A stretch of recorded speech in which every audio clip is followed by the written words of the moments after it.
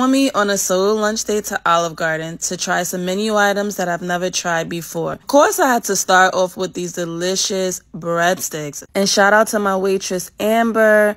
This pina colada was amazing. She was such a sweetheart. So thank you so much. And if y'all needed a sign to come to Olive Garden, here it is.